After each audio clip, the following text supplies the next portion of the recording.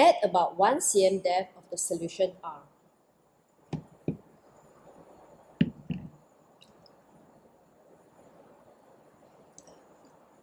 To this boiling tube, add about 1 cm depth of the copper 2 sulfate solution.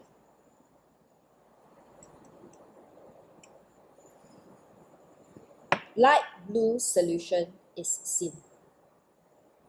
Gently heat this boiling tube for at least 1 minute. Do not allow the mixture to boil too vigorously.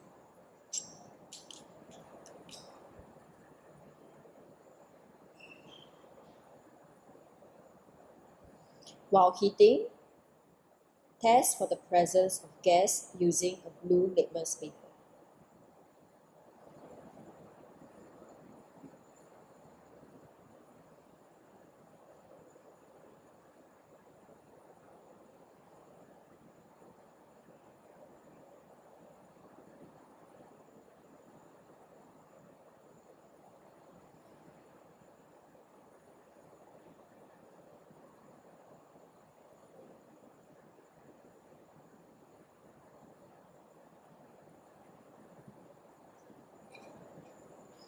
The blue litmus paper turns red.